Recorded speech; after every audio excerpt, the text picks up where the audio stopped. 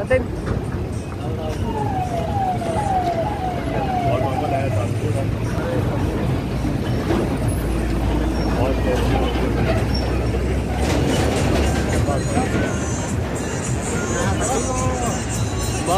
अभी भूल गया था मैं।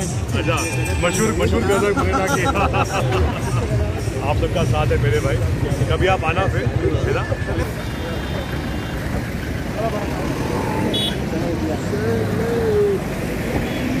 बहुत ही दुखद घटना है और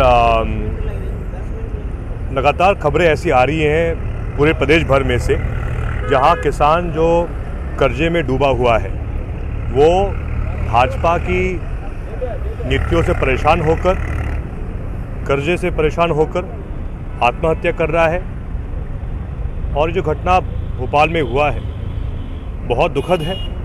और सबसे बड़ी अफसोस की बात तो ये है जो उसका फ़ोटो आई कि एक भाजपा के विधायक महोदया एक किसान बेहोश है आईसीयू में है, और वहाँ वो चेक के साथ फ़ोटो खिंचवा रही हैं। ऐसे लोगों को माफ़ी मांगनी चाहिए जनता से।